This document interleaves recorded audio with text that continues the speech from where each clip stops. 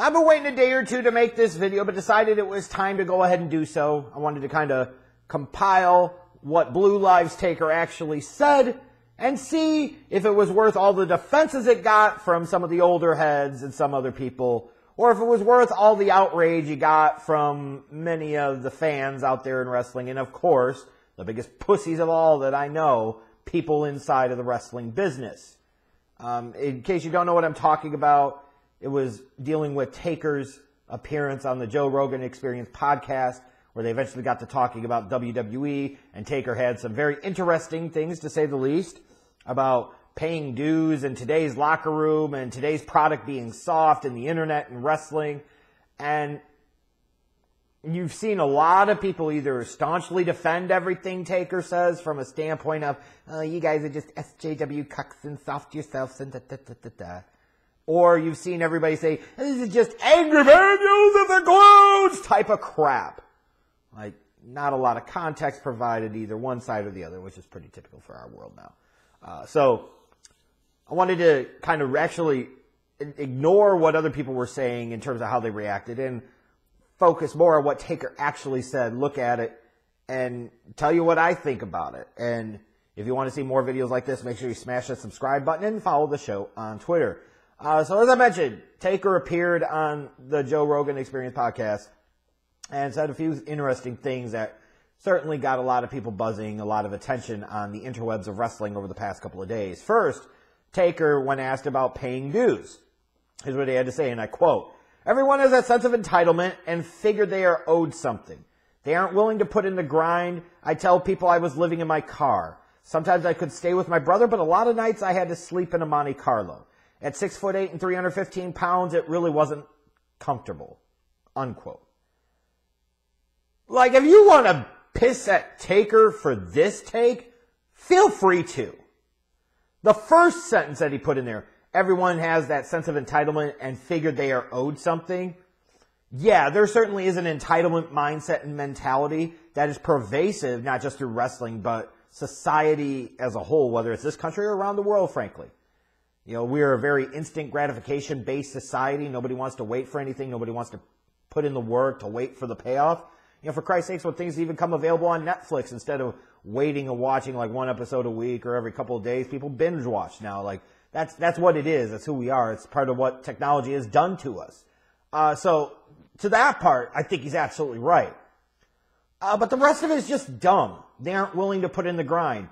Yeah, for some of them, I will grant you, Mark, that they appear to not be willing to put in the grind because they're not working on their craft. You don't see them develop. You don't see them improve. You don't see them get better. Uh, but the whole thing about living in your car and that it was uncomfortable and that means that you paid your dues and went through the grind, that's just stupid. I used to sleep in a car. I'd come home some nights and not know whether or not I was going to have anything for dinner. I'd go eating one meal a day. Like, all that other shit, been dirt poor several times, all this other crap. But because I did it doesn't mean that I want everybody else to experience it, you a-hole. Other people can pay dues, other people can put in the effort without having to have that struggle, that suffer. Like that sucked. I wouldn't wish that on my worst enemy. In no way, shape, or form is that something I would view back on with a nostalgic lens or think that other people should have to meet that standard? And the way you're kind of talking here is that kind of old crusty, well, back in my day, we walked barefoot in shorts and a tank top in the snow uphill 10 miles to school. That's the way it was. We liked it. Well, your time was stupid. And yes, it is a reason to respect you. The fact that you were willing to sacrifice for your dream, your vision, and you were willing to throw everything into it. But just because others don't do the exact same thing you did and have to deal with the exact same things doesn't mean that they didn't have to suffer. Doesn't mean that they didn't sacrifice. Doesn't mean that they didn't face serious challenges or consequences. So get fucking bent on this one. This is stupid. Like if fans want to sit there and talk about this from the paying dues aspect, like especially you get to the part where it's like, woe is me, look what I used to do. Well, who gives a crap? I'm not impressed. I promise you, I'm not impressed. And nobody else should be either. Entitlement though? Yeah, oh, certainly there's a sense of entitlement. But that's not epidemic just in WWE or AEW or even wrestling as a whole. That's just the world we live in now. Uh, next, Taker on today's locker room, which certainly got people talking about the, he's saying that they're not real men, and oh god, here we go. And I quote, you go into a dressing room nowadays and it is a lot different. I remember when I walked into my first real dressing room and those were some crusty men. Half of them had guns and knives in their bags. Shit got handled back then. Now you walk in there and there are guys playing video games and fucking making sure they look pretty, unquote. Uh, first, Taker likes crusty men. We just found out something new. Congratulations, Taker. I'm sure you've been holding that in for a long time. Number two, the guy that wore guyliner for three decades is talking about other people making themselves look pretty in the mirror in the back. Are you serious here? Pot meat kettle, Mark. but to the point of his first real dressing room and there were some crusty men in there. Half of them had guns and knives and shit got handled. Like to me, where people are focusing on this and say, he's saying that the people that wrestle now aren't real men and da da da da da. I can understand where this kind of comes across kind of, kind of out of touch, kind of comes across crusty old manish. But there's something to it. This is where if Joe Rogan actually really understood professional wrestling and had any salt to him in terms of like a journalist for the wrestling landscape, you would have asked clarification questions to ask him what he meant. And are you talking about the way that people present themselves now versus the way they did back then. Because if you go down that path, that is an incredibly valid comparison. That is an incredibly valid thing to point out. Like those people back then, you know, they looked like professional wrestlers. They looked different. They looked unique. But you knew you didn't want to cross them or fuck with them because if you tried them, they would let you know. They'd help you smell the roses. Whereas now, you see a lot of these guys, and you have fans that are tempted to think to themselves, I think I could take that dude. In a lot of cases, they probably wouldn't be able to, but in some, they could. They absolutely could. So there is different. So I get the, I get this kind of notion that he's talking about. The whole thing about playing video games is really dumb and ignorant. I remember my parents' generation sitting there talking about how stupid video games were and how they were a waste of time. Now you got people that go on Twitch and YouTube that make seven, eight figures a year doing what? Streaming video games. Other people watch them play video games.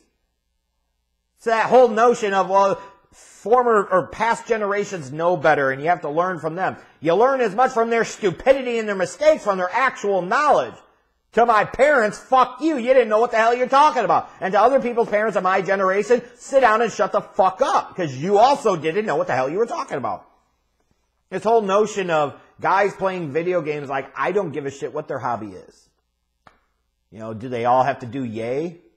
They all have to inject themselves, take sleeping pills and somas and all this other garbage? No.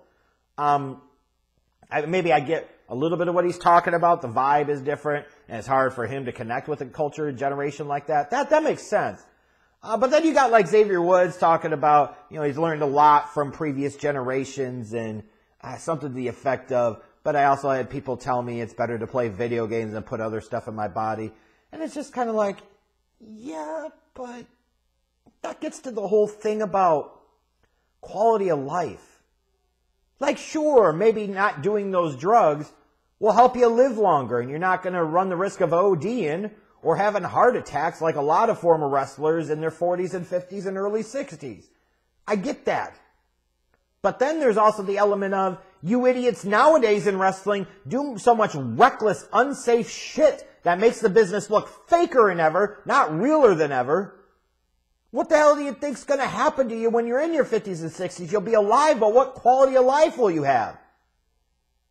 Well, you'll be alive, but will you be living? Look at Matt Hardy. Fucking walks around with a limp all the time. He's only in his 40s into the whole thing of, well, it's a healthier lifestyle. Is it?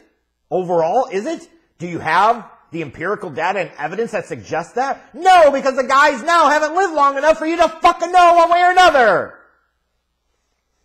The, the, the look pretty one kind of humored me though, because I'm like, guy liner dude talking about, you know, but it's whatever. Uh, then Taker, this is another big one that pissed a lot of people off. Taker on today's product being soft. And I quote, uh, probably, I'd probably, I'll probably piss a lot of people off, but they need to hear it. It is what it is. But to the young guys, oh, he's a bitter old guy. I'm not bitter. I did my time. I'm good. I walked away when I wanted to walk away. I just think the product is a little soft. There are guys here and there that have an edge to them, but there is too much pretty and not enough substance, I think, right now. So this was a lot of fans again taking umbrage at the fact of, well, it's not the way they used to do it. he thinks it's automatically stuffed. Sucks. It's old oh, man. You got the clothes again. Or that he's sitting there and literally say, questioning these wrestlers' manhoods and that he's calling them not real men and that the wrestlers of the past were real men. And it's just, shut up. The product is a little soft. And how stupid is that?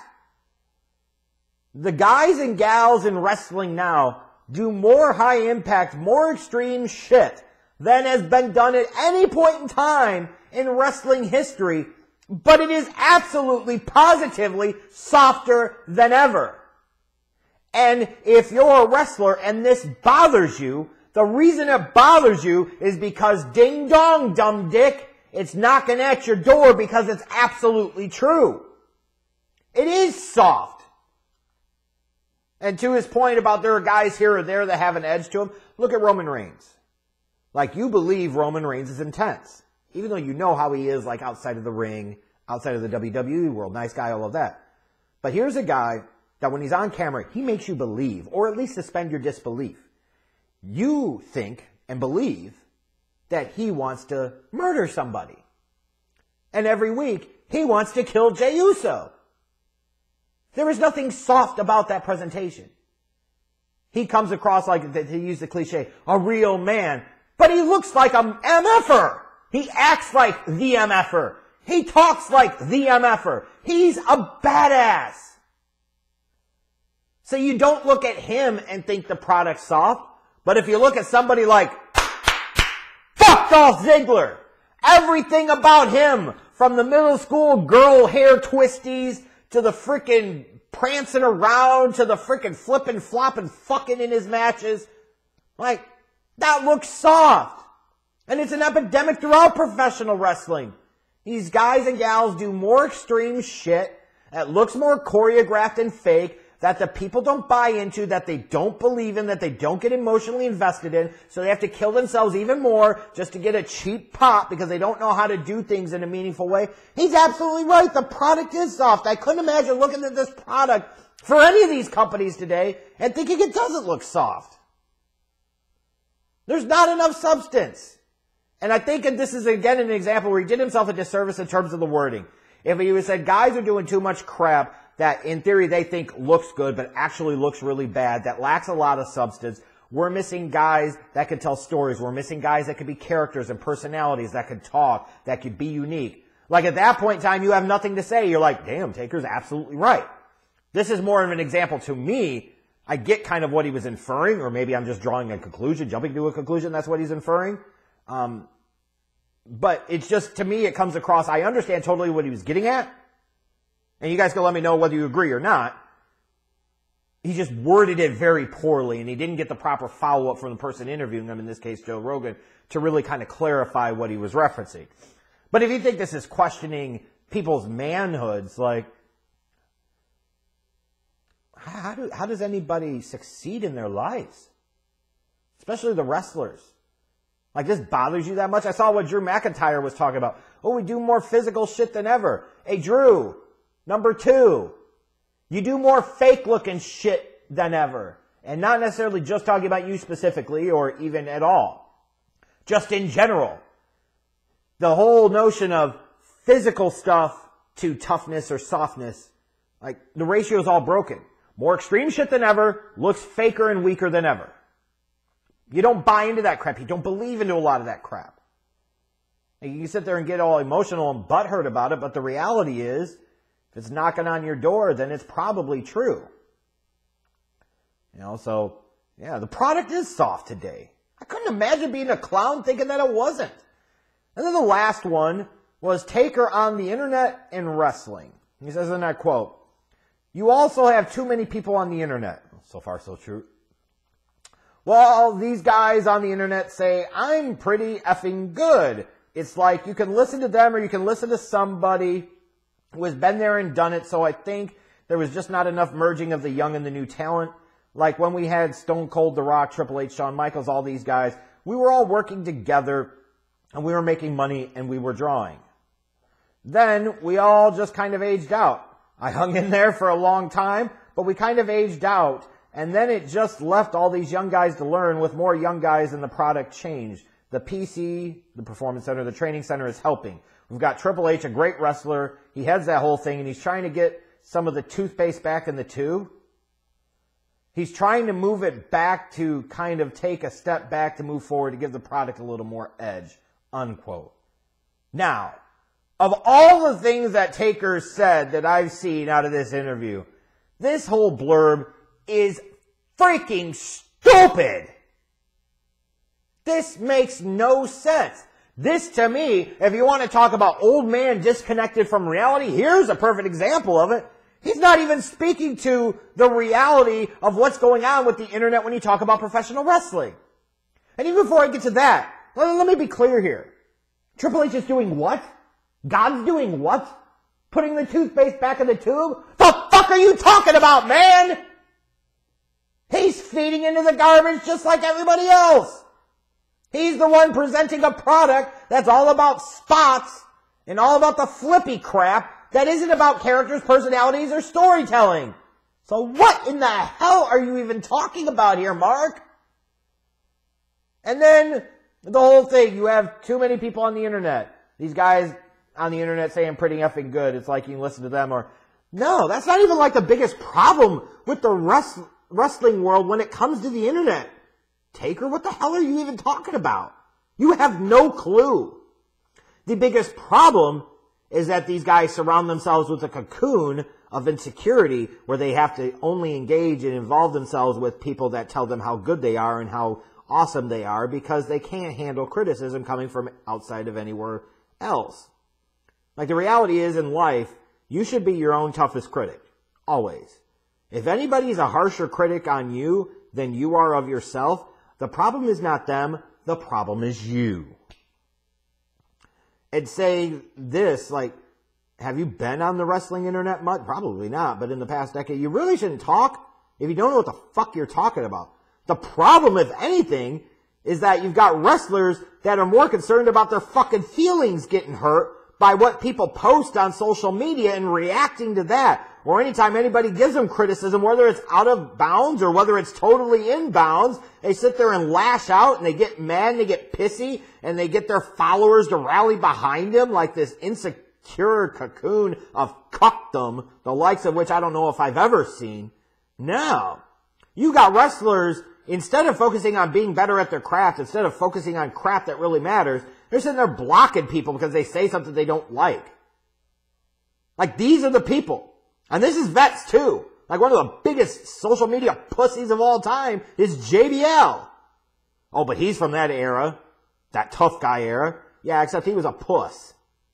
And you get shit rocked by Joey Styles. Rest my case. You can be a big bully doesn't mean you're a big tough guy. Now, the problem with the internet is that these talents now in wrestling don't know how to either A, compartmentalize and ignore the bullshit, B, stay away from vanity searching themselves in the fucking, in their mentions and then going after people. C, looking to the internet to try and fill the gap and fill the void that comes out of their own personal insecurities with who they are and what they do. That's the problem with the internet. Your point about, you know, guys kind of aged out and went away and they didn't really have like that natural transition. In a lot of ways, you're correct. I would say he's absolutely correct.